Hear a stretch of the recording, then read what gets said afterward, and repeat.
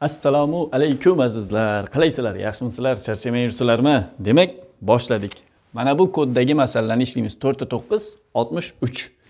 Blok test bilasizlar xabarlaringiz bor. Demak o'ttiz birinchidan boshlaymiz. Birinchi meteorologik raketa yuz kilometr balandlikda uchayotgan ekan. Uni yozaman h bir teng yuz kilometr deb qo'yaman. Ikkinchisi h ikki ikki yuz kilometr balandlikda uchayotgan ekan. Endi aytyapti bularni massalari teng bo'lsa deyapti raketani massalari teng bo'lsa raketalarni yerga tortish kuchlarini solishtiring deyapti. Mayli. Yerga tortish kuchi f bir bilan f ikkini solishtirishim kerak. Mana. Demak f bir nimaga teng bo'ladi? F bir yerga tortish kuchi. Gamma ko'paygan m mana bu katta m yerni massasi taqsim r plyus h birni kvadrati bo'ladi. To'g'rimi? Shunaqa bo'ladimi? Bu markel charchadi shekilli. Demak endi ikkinchisini nima bo'ladi? F ikki. F ikki teng gamma m m taqsim r plyus h ikkini qavs kvadrati bo'ladi. To'g'rimi? Ana endi qarang shu yerdan gamma m m ikkalasi teng. Mana bu katta ham yerni massasi kichkina ham bu raketalarni massasi o'sha sun'iy yo'ldoshlarni desak ham bo'ladi. Metrologik raketa deb qo'yib mayli raketa bo'lsa raketada. Bu teng ikkalasi uchun to'g'rimi? Demak f bir ko'paygan. R plyus h birni qavs kvadrati teng bo'ladi. F ikki ko'paygan. R ikki plyus e, r plyus h ikkini qavs kvadrati. R nimaligini bilyapsizlarmi? Yer radiusi. Yerni markazidan o'sha raketagacha bo'lgan masofani olishimiz kerak. Demak qarang h bir bu yoqda kichkina. Bu yoqda h ikki katta. Demak bu yoqdagi qiymat katta chiqadi bundan mana shundan. To'g'rimi? Demak endi ikkala ko'paytma teng bo'lishi uchun bu kichkina bo'ldi bu katta bo'ldi. F bir katta bo'lishi kerak f ikki kichkina bo'lishi kerak. To'g'rimi? F bir katta bo'ladi f ikkidan. Lekin juda katta qiymatga emas. Juda katta qiymatga emas chunki yerni radiusi olti ming to'rt yuz olti ming to'rt yuzga bu yerda yuzni qo'shyapmiz bu yerda olti ming to'rt yuzga ikki yuzni qo'shyapmiz unchalik katta farq chiqmaydi. Shuning uchun f bir juda oz miqdorda f ikkidan katta bo'ladi. Ho'p o'ttiz ikki. O'ttiz ikki. Qaraymiz. Gorizontal otilgan jismning tangensial tezlanishi deyapti. A teng. O'zimiz biladigan a teng v minus v nol taqsim t degani o'sha tangensial tezlanish ko'pchilik farqlamay qoladi shu tangensial tezlanish deb atalgan payt. Demak o'sha ildiz osti uch taqsim ikki j ga teng ekan. Qandaydir bir qiymat qandaydir bir vaqtdada. Endi o'sha paytda deydi bu jism gorizontga nisbatan qanday burchak ostida bo'ladi? deyapti. Gorizont bilan qanday burchak hosil qiladi? Xo'p, ko'ramiz. Mana gorizontal otildi mana. V0 tezlik bilan gorizontal otildi va qandaydir bir joyga kelganda mana bu tangensial tezlanish asosiy tezlik yo'nalishi shu yoqqa yo'nalgan bo'lsa, v tezlik yo'nalishida bo'ladi tangensial tezlanish. A. Tushunarlimi? Endi j ham bor. j tik pastga yo'naladi, to'g'rimi? Mana j. Endi mana bu a deganimiz. Tangensial tezlanish j ni biror o'qqa proyeksiyasi bo'ladi ya'ni mana shu tomonga proyeksiyasi. Ikkinchi proyeksiyasi esa u markazga intilma tezlanish bo'ladi. A normal. Mana. Mana shu ikkita tezlanish natijaviysi j ni hosil qiladi bu yerda. Tushunarlimi? Endi hosil qiladi demaylik j ni proyeksiyalasak xuddi shunga to'g'ri keladi. Tushunarlimi? Demak mana shu biz gorizont bilan qanday burchak hosil qilishini topishimiz kerak? Mana shu yerdagi alfa kerak menga tushunarlimi? Demak gorizont bilan mana v nol bo'lsa v nolligicha qoladi mana. Mana shu burchak alfa bo'lsa mana bu ikkalasi to'qson bo'ladi to'g'rimi? V nol bilan j. Shundaymi demak to'qson bo'lsa mana bu yer to'qson minus alfa. Endi mana bu to'qsonku mana to'qsonda borib deb turibdi. Demak mana bu alfa bo'lib qoladi endi. Demak ani jga ga nisbatan nima bo'ladi mana? Alfa burchakni qarshidagi katetni gipotenuzaga nisbatan a taqsim j teng sinus alfa bo'ladi to'g'rimi? Jni u yoqqa mayli. Mana ani o'rniga ildiz uch taqsim ikki jni qo'ysam jlar qisqarib ketadida sinus alfa teng nima bo'ladi? Ildiz osti uch taqsim ikki bo'ladi. Alfa shunda nima bo'ladi? Oltmish gradus bo'ladi. Tamom ha markalam tamom bo'ldi. Oltmish gradus tamom masala. O'ttiz uch. O'ttiz uchinchi. Ketdik. Diametri nol besh metr bo'lgan g'ildirak. Diametri nol besh bo'lsa radiusi nol butun yigirma besh metr bo'ladida. G'ildirak v teng 10 metr taqsim sekund tezlik bilan gorizontal sirtda harakatlanmoqda. A nuqta tezligining moduli va yo'nalishi yerga nisbatan qanday? Chizma bu yoqda ekan. Bo'ldi. Demak mana qaranglar. Mana shunday g'ildirak. Sirt bo'ylab dumalab ketyapti. Bu yoqqa qarab mana v tezlik bilan ketyapti. Endi qarang a nuqta mana shu yerga chizib qo'yibdi. A nuqtada tezlikni aylanma harakatni yo'nalishi qayoqqa bo'ladi? Aylanma harakat mana u yoqqa dumalasa mana bunaqasiga dumalasa u yoqqa yuradi to'g'rimi? Demak aylanma harakat tezligi v u yoqqa yo'nalgan ekan. Tushunarlimi? Ilgarilama harakatchi bu nuqta qayoqqa qarab ko'chyapti? Bu yoqqa qarab ko'chyapti. Demak ilgarilama harakat tezligi bu yoqqa yo'nalgan ekan. Ana endi ikkalasi общий yerga nisbatan mana shu tezlikni hosil qiladi. Yerga nisbatan tezlik mana bu. Mana bu v. Bu endi mana pifagor bo'lib qoladi. V kvadrat plyus v kvadrat mana buni kvadratini berish kerak. Ildizosi ikki v. Uni bilamiz to'g'rimi? Ildizosi ikki ko'paygan v. Natijaviysi yerga nisbatan. Endi qanday burchak hosil qiladi? Bu ham v bu ham v bo'lgandan keyin qirq besh gradus hosil qiladi. Demak qirq besh gradus hosil qilar ekan natijaviy esa ildizosi ikki vga teng ekan vimiz o'n ekan. O'nni biru qirq birga ko'paysam o'n to'rtu bir metr taqsim sekund. Ildizosi ikkidan biru qirq bir chiqadiku. Bo'ldi. Demak gorizont bilan hosil qilgan burchagi qirq besh yerga nisbatan tezligi o'n to'rtu bir degan javob bo'lishi kerak. Hmm. tamom. o'ttiz to'rtga o'tamiz. O'ttiz to'rt. Demak yerga nisbatan v teng nol butun o'ndan olti s tezlik bilan harakatlanayotgan sanoq sistemasida o'sha yoqda t teng nol butun yo'q o'n h ya'ni o'n soat vaqt o'tibdi. H desa bu soat degani inglizcha hour so'zidan olingan to'g'rimi? Yerda necha soat o'tgan bo'ladi? Yerda ko'proq o'tadimi? Ko'proq o'tadi.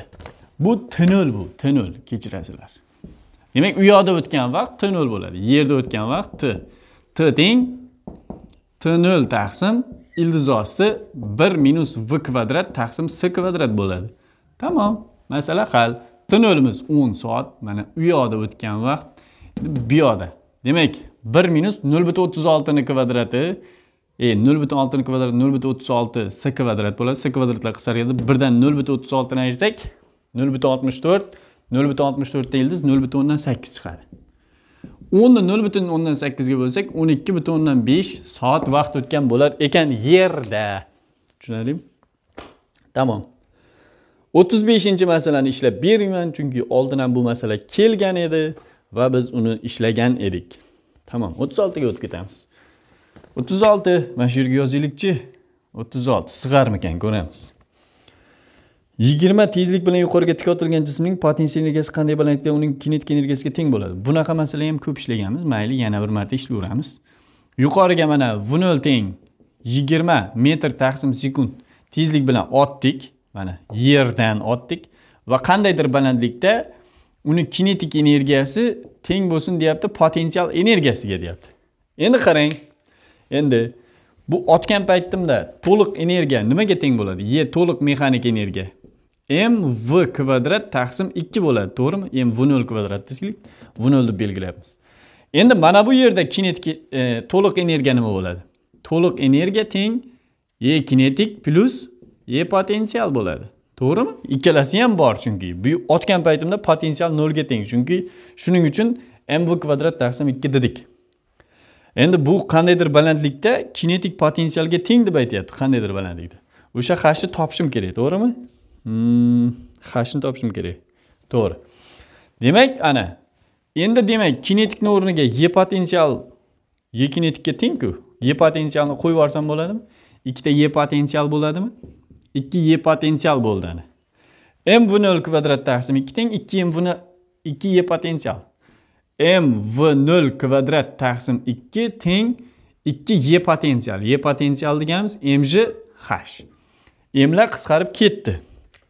Markelam ketdi keyingisi ho'p h topsak v0 kvadrat taqsim h teng v0 kvadrat taqsim 4j bo'ladi. Bu undan battarku Mayli. Demak, v0 kvadrati 20 tezlik bilan otilib 400 yuzni 40 bo'lsam 10 metr chiqar ekan. Mayli.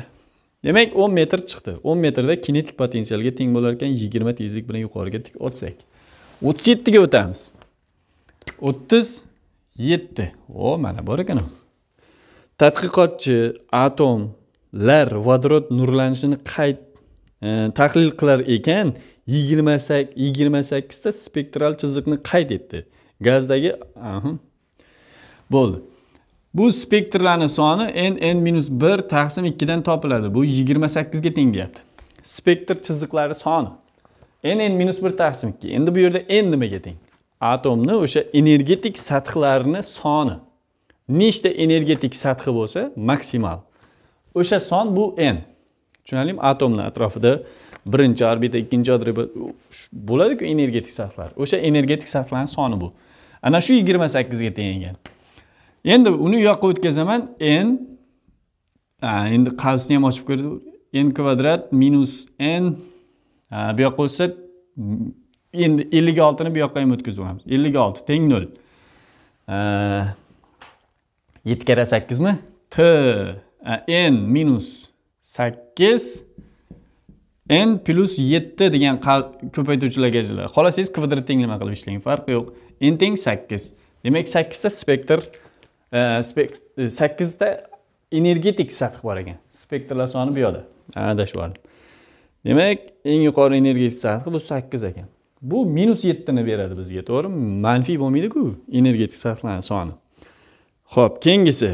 O'ttiz sakkiz. O'ttiz sakkiz.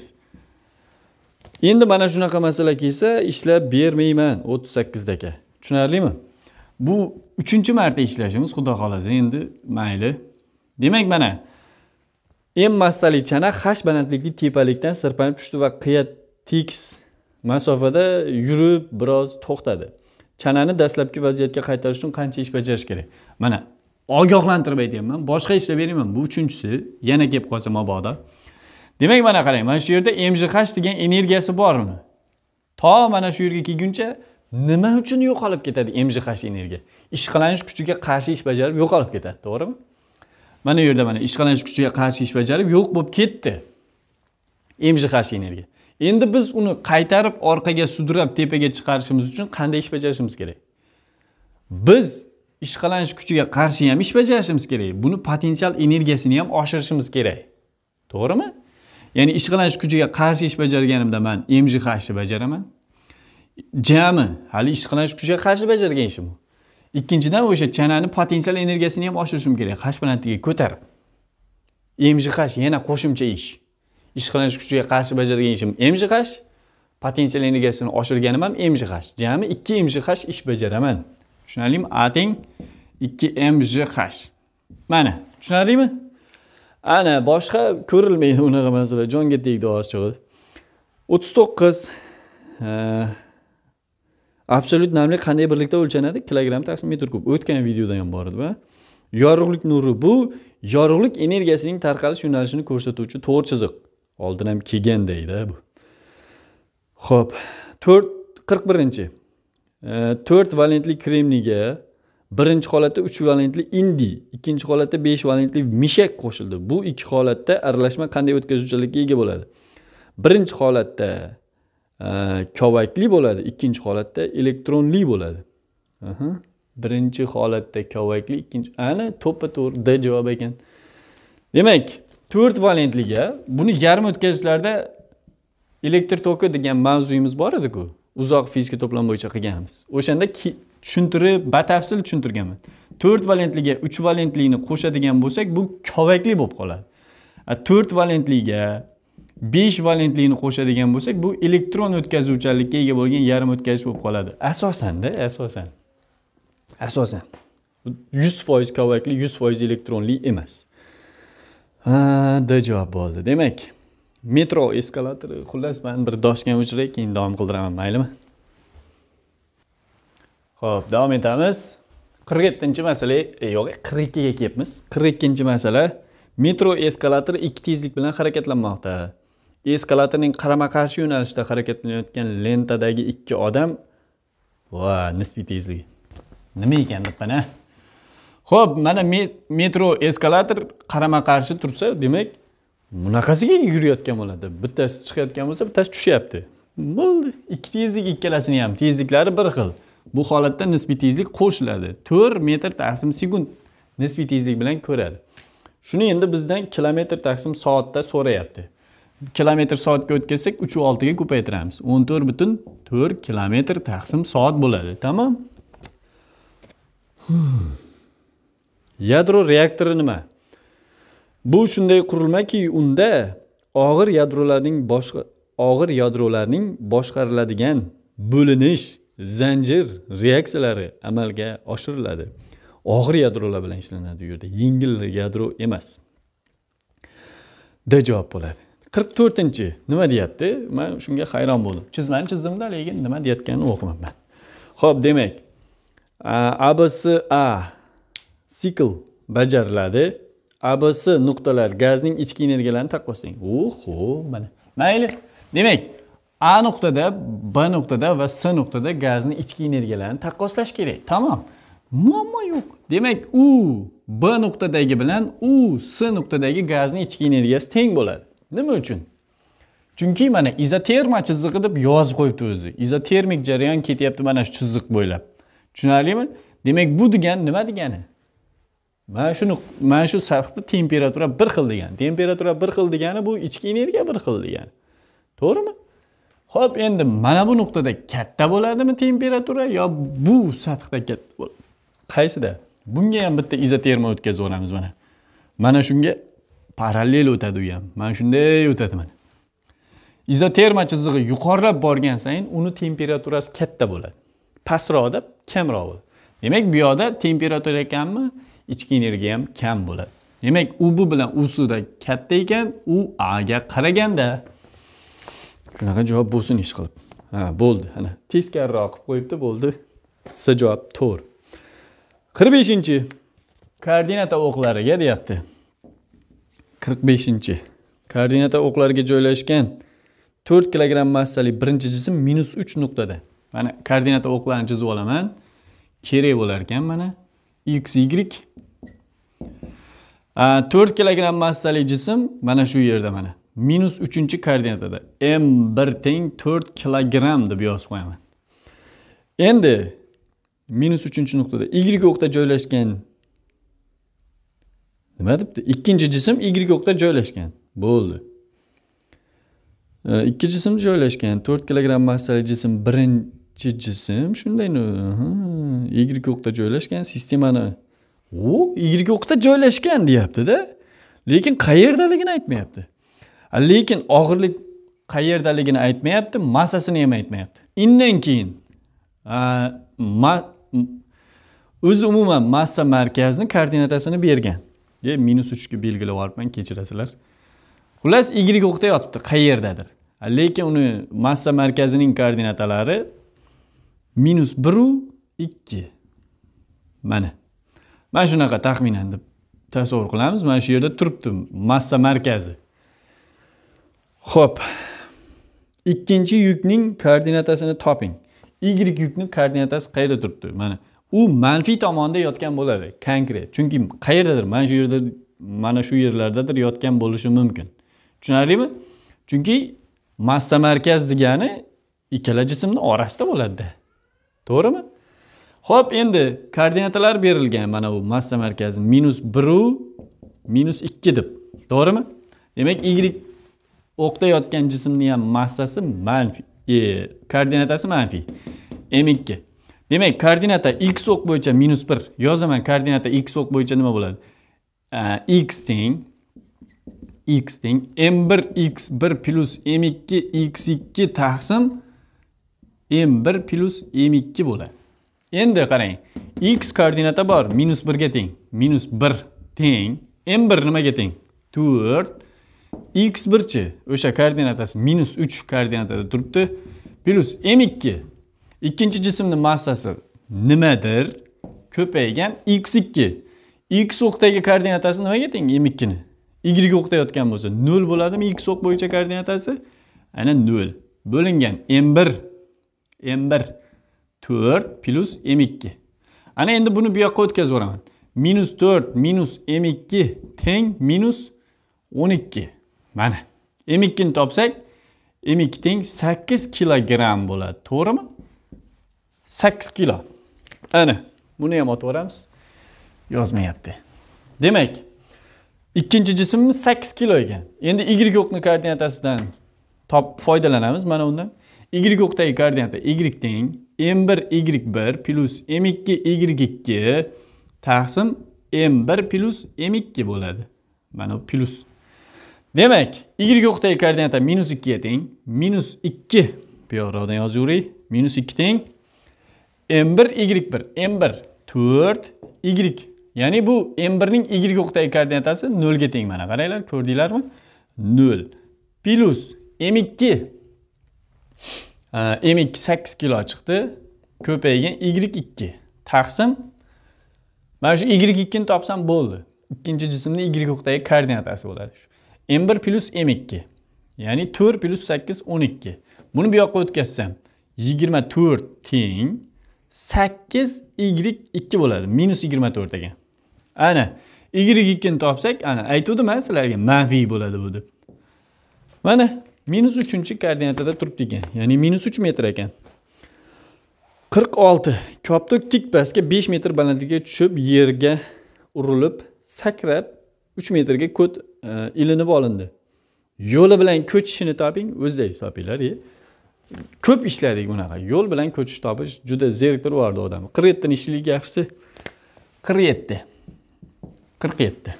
Endi bundan buyog'iga shunaqa bo'ladi. Tashlab ketiladigan masalalar bo'ladi. Boyagi ziqqa chiqib ketganlarda quv zaryadga ega bo'lgan shar sirtidagi potensial figa teng. Uning potensialini uch figacha orttirish uchun sharga qanday zaryad qo'shilishi kerak? Uch figacha deyapti. Ya'ni boshida potensial fi bir teng fi ekan uni zaryadi q bir teng q ekan. Endi potensiali fi ikki teng uch fi bo'lsin deyapti. Qanday zaryad qo'shishim kerak deyapti. Q ikkini so'ramayapti. Q ikki minus q birni so'rayapti. Qanday zaryad qo'shish kerak. Qo'shgani shu bo'ladimi? Ayir ayirganimda o'z xullas hozir gaplashamiz fi bir teng k q taqsim r. Endi fi ikki teng k q ikki taqsim r. Endi q ikkini topadigan bo'lsak mana uch fi q ikki deganim uch fi chiqadi uch q chiqadi to'g'rimi? Uch q. Ya'ni zaryad uch q bo'lsa uch fi chiqadida bu yoqda. Javob to'g'rimi? Ana endi qarang. Endi qarang. Ikkinchi holatdagi zaryad ikki q bo'ldi. Birinchi holatda q edi. Qancha zaryad qo'shdik? Ikki q zaryad qo'shdikmi? Bo'ldi. O'sha qo'shganimizni so'rayapti. Keyingi qirq sakkiz. Qirq sakkiz. To'rt tonna massali yuk avtomobili gorizontal yo'lda tinch holatda. Aha. M teng. To'rt tonna tinch holatda tinch holatdan mana bu tezlikka erishdi mana. o'n metr taqsim sekund tezlikka erishibdi. Hamma kuchlarning teng ta'sir etuvchisi bajargan ishni toping deyapti va zo'rku. A boshida tinch turuvdi. Keyin qandaydir kinetik energiya paydo bo'ldi. Energiyaning o'zgarishi bajarilgan ishga teng. Tushunarlimi? Biz kuch qo'yib uni itarib qandaydir tezlikka erishtirdikmi? Biz bajargan ish unga kinetik energiya bo'lib o'tdi tamom. Tushunarlimi? A teng. Delta e kinetik.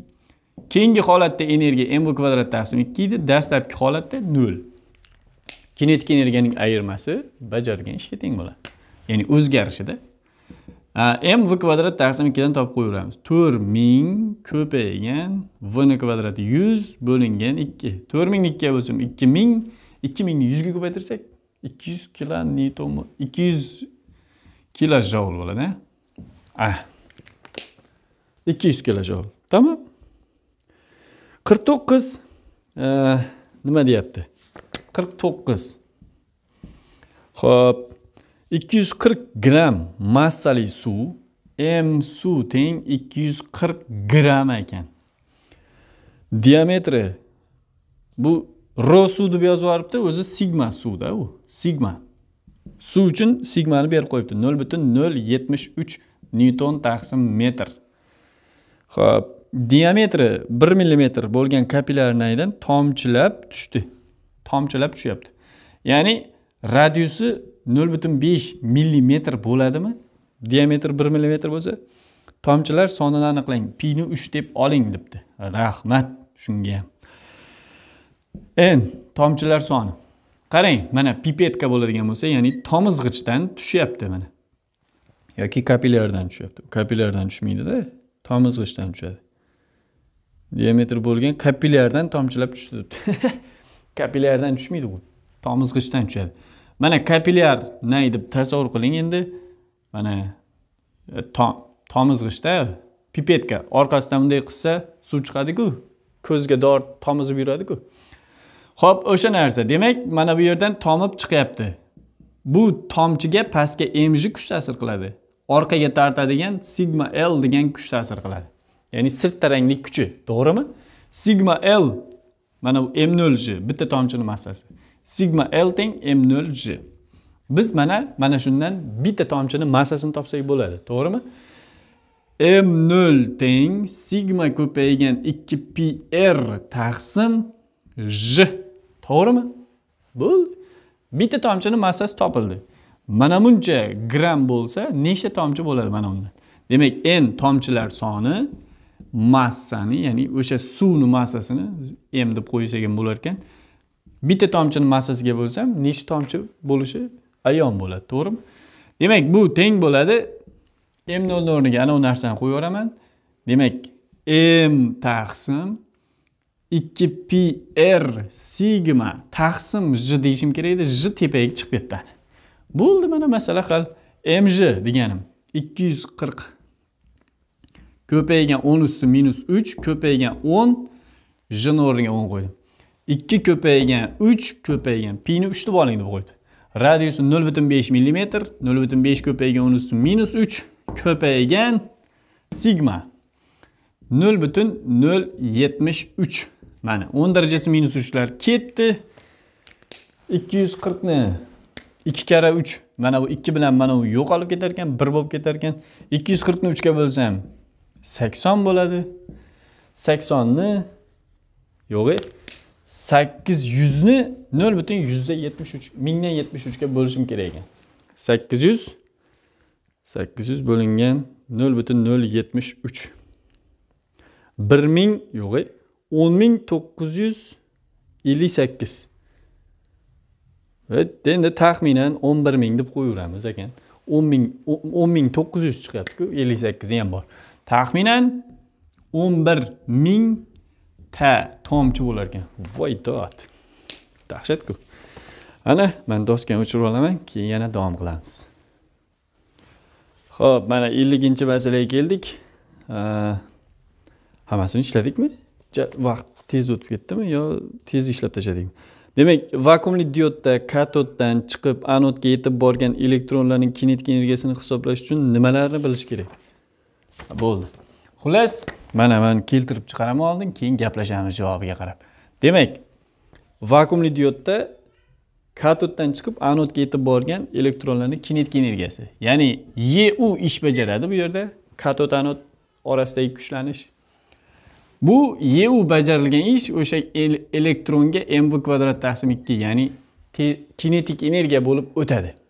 Yani dastlab tinch turgan elektron keyinchalik kinetik energiyaga ega bo'lyapti. Demak v ni topsak nima bo'ladi? Ikki e u taqsim m. Bo'ldi mana. Nimani bilishimiz kerak? Elektronni zaryadini kuchlanishni va elektronning massasini bilishimiz kerak. Elektron zaryadini bilish kerak ekan. Katod va anod orasidagi kuchlanishlar ayirmasini masofa kerak emas to'g'rimi masofaga umuman bog'liq emas. Bir bilan ikkini bilsak bo'ldi. Keyingisi ellik bir. ellik bir deymizda. Otib yuboramiz. Ho'p. Agar qiya tekislikni balandligi uning asosini uzunligiga nisbati nol butun to'rt bo'lsa mana balandlikni qiyat tekislikni asosini uzunligiga nisbat hashni elga nisbat h taqsim l teng nol butun o'ndan to'rt bo'lsa tekislik bilan tortib chiqarilayotgan jism orasidagi ishqalanish koeffitsiyenti nol ikkiga teng. Ekan miu teng nol butun o'ndan ikki qiya tekislikni foydalanish koeffitsiyenti qancha bo'ladi deyapti. Mana endi bu foydalanish koeffitsiyenti nima bo'ladi? Qiya tekislikni foydalanish koeffitsiyenti o'zi bajargan foydali ishimiz nima bo'ladi? Foydalisi. Mana shu yuk turgan bo'lsa ikki xil usul bor. Buni ko'tarish uchun h bilan mana shu h bilan olib chiqdik. Bajargan ishimiz h bilan ko'targanimiz bo'ladi. Tushunarlimi? Ya'ni foydali ishimiz mj hash bo'ladi. Umumiychi. Umumiy. Mana bu yerda man f kuch qo'ydim bunga. Mana. Bu yerda man bunga f kuch qo'yyapman va l masofagacha sudrab chiqyapman ya'ni f ko'paygan l. Endi bu f nimaga teng? Ko'paygan mana yerga yuz foiz yozib yuboramiz. F nimaga teng? Mj h taqsim. Pastga mj sinus alfa ta'sir qiladi. Mj sinus alfa. И yana pastga nima ta'sir qiladi? Miu mj kosinus alfaga ham ta'sir qiladi. To'g'rimi? Nol to'rt deb berganmi? Nomardlar. Bir normal son bersa bo'lmaydimi demak f mj sinus alfa bilan mu mj kosinus alfani yig'indisiga teng bo'lsa bu sudrab ko'tarib chiqaramiz mana shu yoqqa sudrab chiqalaymiz. ko'paygan l. Mana hashni lga nisbati bor. Ko'paygan yuz foiz. Endi qarang hashni lga nisbatan shu burchakni olsak sinusga teng bo'ladi to'g'rimi? Sinus alfa teng nol butun o'ndan to'rt. Shundaqmi bo'ldi. Kosinus alfa ham kerak menga kosinus alfa teng ildizosi bir minus sinus kvadrat alfa. Nol butun o'n olti bo'ladimi buni kvadrati? Birdan nol butun o'n oltini ayirsak nol butun sakson to'rtmi nol butun sakson to'rtdan ildiz chiqaramiz. Nol butun sakson to'rt. Ildiz. Nol butun to'qson ikki taxminan. Kosinus alfa taxminan nol butun to'qson ikkiga teng ekan bo'ldi. Shu narsani hisoblasak qiya tekislikni foydalanish koeffitsiyentini topgan bo'lamiz. Mjlar qisqarib ketadi. Qarsini tashqari chiqarsam hashni elga nisbatan nol to'rt nol to'rtni yuzga ko'paytirsam qirq taqsim sinus alfa. Sinus alfa nol butun to'rt. Mana hashni elga nisbatan yozdim. Уже elni ishlatmayman endi. Plyus miu kosinus alfa. Miu deganim nol butun o'ndan ikki ko'paygan nol butun to'qson ikki. Mana shuni hisoblaymiz. Yuz foizni уже ishlatib bo'ldim a nol butun to'qson ikkini nol ikkiga ko'paytirib nol to'rtga qo'shaman. nol butun to'qson ikkini ko'paytiraman. nol butun ikkiga plyus nol butun to'rt. nol butun besh yuz sakson to'rt. Endi qirqni bo'laman nol butun besh yuz sakson to'rtga. oltmish sakkiz butun qirq to'qqiz chiqdi. oltmish sakkiz butun qirq to'qqiz chiqdi bu yerda.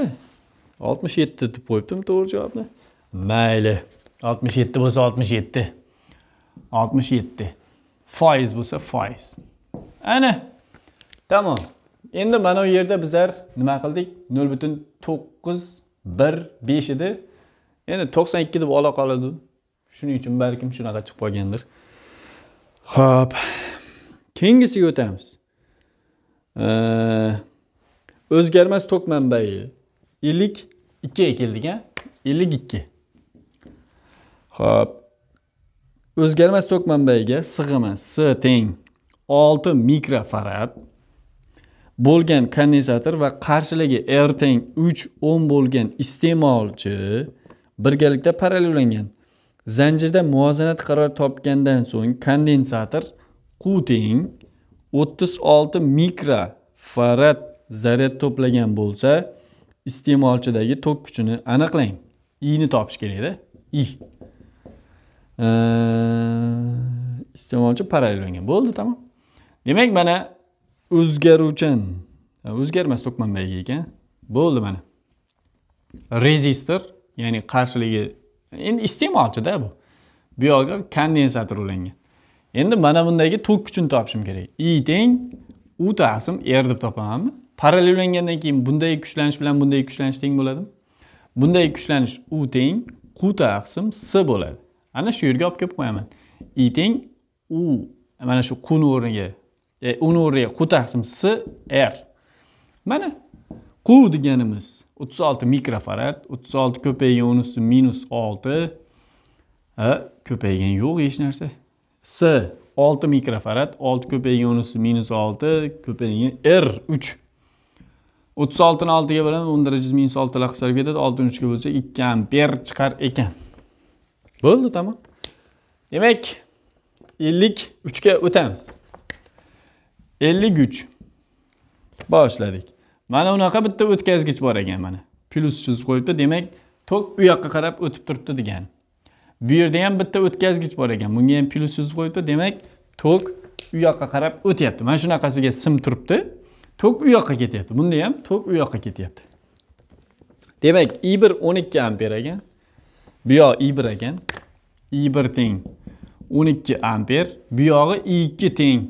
Nechi? To'rt amper ekan. Endi bularni orasidagi masofa o'n olti santimetr ekan. Mana. Mana o'tkazishlar orasidagi masofa r teng o'n olti santimetr ekan. Ho'p hmm. o'tayotgan o'tkazishdan qanday masofada natijaviy magnit induksiyasi nol bo'ladi? Natijaviy induksiya nol bo'ladi. Qachon deya. Bunday qilsam pastga bo'ladi. Bunday qilsam orada tepaga bo'lar ekan. Demak ikkalasi teng bo'lib qolishi kerak to'g'rimi? Mana shu r teng o'n oltini teparoqda yozing. R teng o'n olti santimetr. Endi qarang mana bu yoqda mm, qaysi birsidan qanday masofada i bir tok o'tayotgan o'tkazishdan qanday masofada deyapti. Demak mana shu yerdan x masofada induksiya nol bo'lishi kerakda demak qarama qarshi bo'lyaptiku mana. Bunday burasam u yoqqa burayapti va pastga bo'lyapti bu yerda bu yerda bunday burasam tepaga bo'lib qolyapti to'g'rimi? Ikkisini orasida demak. Xulosa shu. Ikkisini orasida любой bir nuqtani belgilayveraman ya'ni istagan nuqtani belgilashim mumkin. Tamom. Faqat ozgina mantiqda ishlatamiz. Kattaroq tokdan uzoqroq kichkina tokdan yaqinroq bo'ladi. Bo'ldi.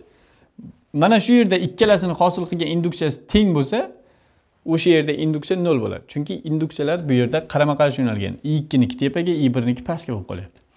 Demak b bir deganim b bir.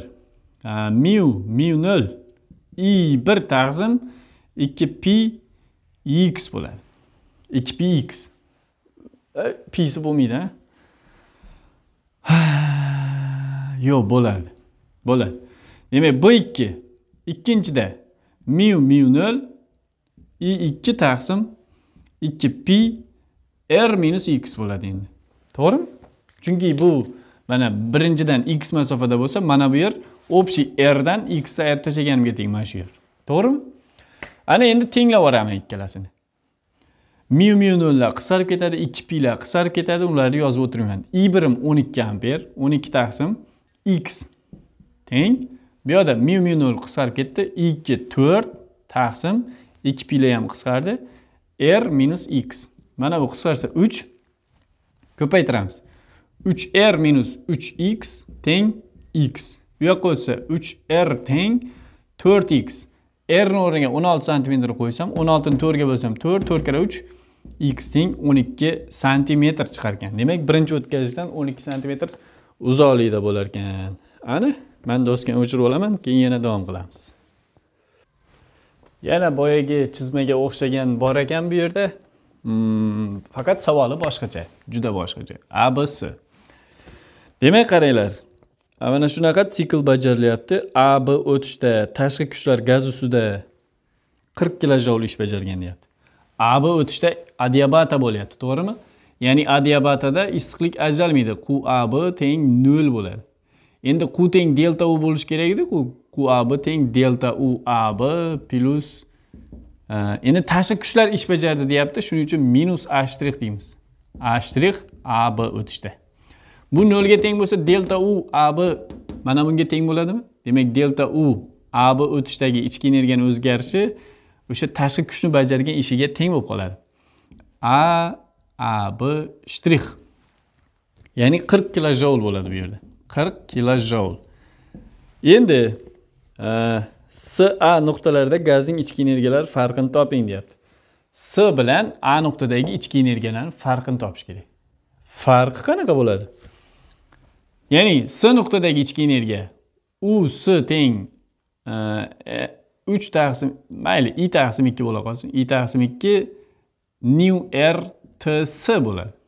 U a nuqtadachi i taqsim ikki new r t a bo'ladi. To'g'rimi? Endi a o'tishda nima bo'lgandi bu?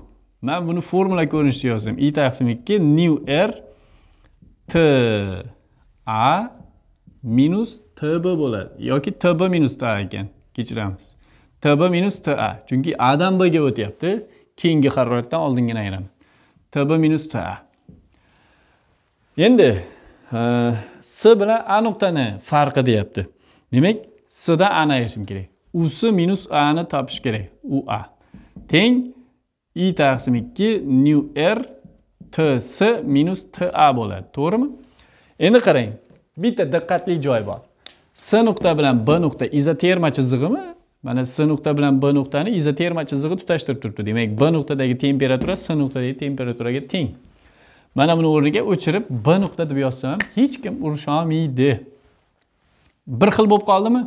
Demak bu nimaga teng bo'lsa bu ham shunga teng ekan degani. Qirq kilojovl bo'ladi bu ham. Tushunarlimi? Bo'ldi oddiy. Keyingisi ellik besh. Ellik besh. Yozamiz. Yukli avtomobil m nuqtadan n nuqtagacha 40 km taqsim soat tezlik bilan yurdi. Yukni tushirish paytida esa ha yukni tushirib qaytishda 80 km taqsim soat tezlik bilan harakatlandi. Avtomobilning butun yo'l davomidagi o'rtacha tezligi. Mana s masofa bo'lsa borishda 40 km taqsim soat, qaytishda 80 km taqsim soat tezlik bilan yurdi. Ya'ni общий yo'l mana shu bo'lsa borish uning yarim yo'li qaytish yarim yo'li. Tushunarlimi? Demak yo'lning yarmini v bir qolgan yarmini v ikki tezlik bilan o'tdi deganga o'xshaydi. V o'rtacha teng s umumiy taqsim t umumiy deb o'tirmaymiz. Endi e, o'zimizni formulamiz bor edi ikki v bir v ikki taqsim v bir plyus v ikki degan. Shunga qo'yib qo'ya qolamiz. Chunki общий yo'l ikki s s yo'lni qirq qolgan s yo'lni sakson bilan yuryapti. Demak yo'lning yarmini v bir qolgan yarmini v ikki tezlik bilan yursa o'rtacha tezlik shunaqa topilardi. To'g'rimi? Ikki ko'paygan qirq ko'paygan sakson taqsim bir yuz yigirma. Oltmish bo'ldi. Yigirmaga qisqartirsam uch bu yoqda ikki. Bir yuz oltmishni uchga bo'lishim kerak endi bu yerda. Bir yuz oltmish bo'lingan uch. Ellik uch butun uch uch uch uch uch ketyapti. Butun uch. Javob. ellik uch butun uch kilometr taqsim soat. Tamom. Masala hal. Quyidagi gaplarni ma'nosi bo'yicha to'ldiring. Voy dod qaramaysiz buni oldin ham to'ldirgandik. Turg'un befarq turg'un emas degan narsani. Turg'un muvozanatni bilasiz. Turg'un emas muvozanatni ham bilasiz. Befarqni ham bilasiz. Chunki aytganmiz точно shu narsalarni ellik yetti. Ketdik. Hop tezligi. V teng nol butun o'ndan bir s. Bo'lgan zarraning impulsi p ga teng ekan mana bu holatda impuls p ga teng. Tezlik ikki marta ortsa endi vx boshqacha tezlik. Tezlik ikki marta ortdi degani nol butun ikki s bo'ldi deganimi ya'ni ikki marta ortsa shunaqa bo'ladi. Impulsi qanday bo'ladi? Endi bu bu holatda pxni topish kerak mana. Hop qanday topamiz? O'zi impuls qanaqa topiladi px teng m x ya'ni ikkinchi holatdagi holatlarni yozyapmiz vx bo'ladi. Mx nimaga teng? Mx degani m 0 taqsim ildiz osti bir minus vx kvadrat taqsim s kvadrat bo'ladi. Ko'paygan vx mana.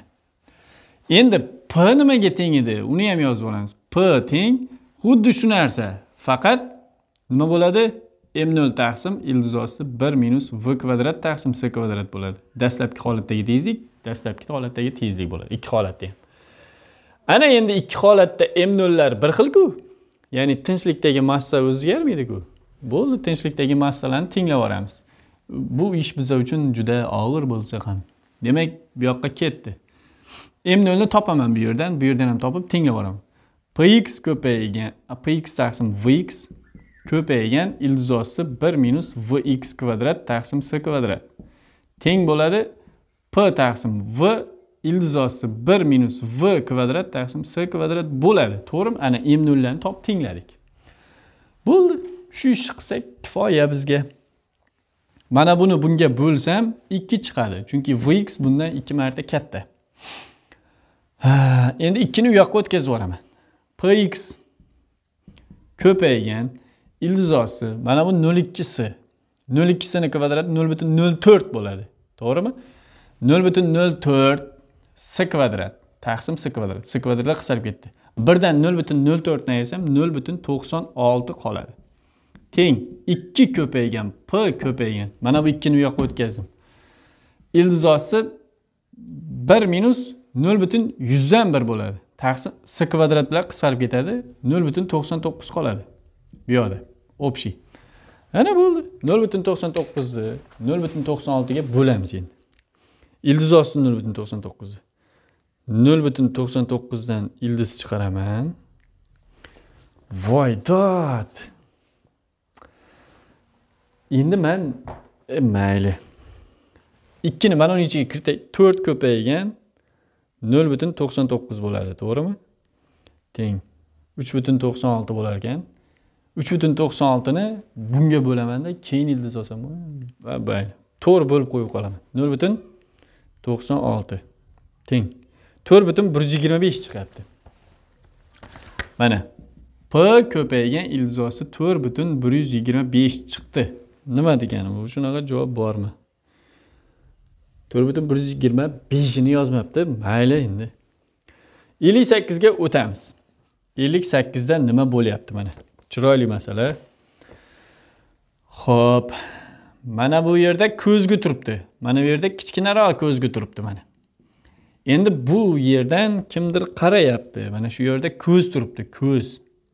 Va qarayapti mana. Nur. Mana ko'zdan nur chiqmaydi. Ko'z qaytgan nurni qabul qiladi to'g'rimi?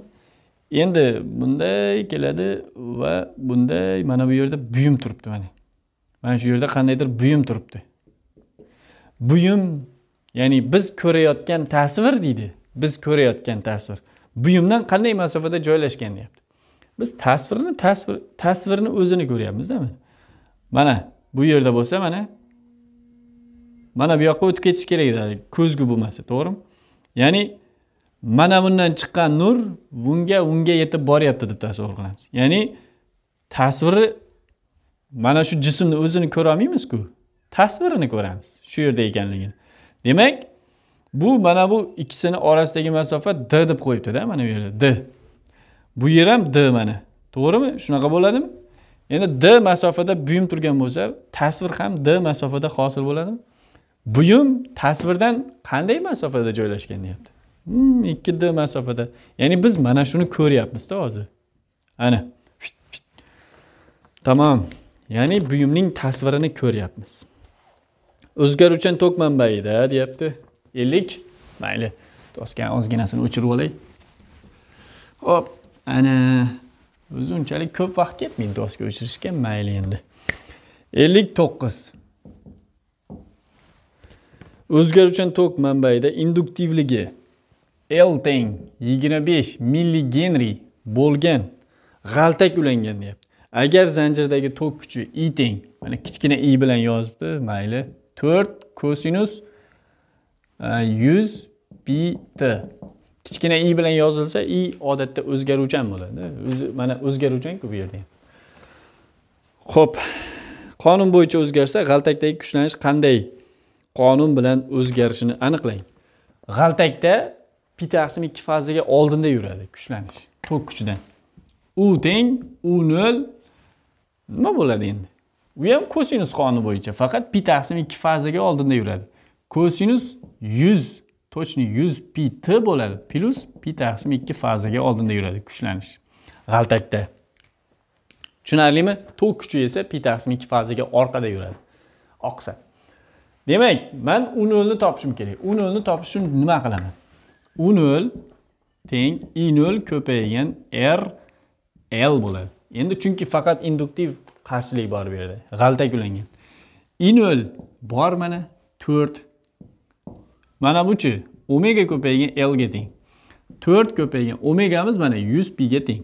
Yuz pi ko'paygan l.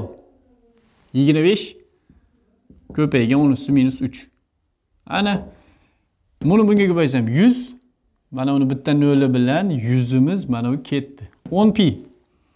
10 piga teng chiqdi u nolimiz mana mana u yerga u nolni o'rniga 10 pini qo'ysak bo'ldi 10 pi kosinus 100 e, bitta plus pi taqsim 2 b javob to'ppa to'g'ri tushunarlimi 60 oxirgi masalamiz ikki moddiy nuqta garmonik tebranmoqda. Ikkinchisining tebranish amplitudasi 5 marta kichik.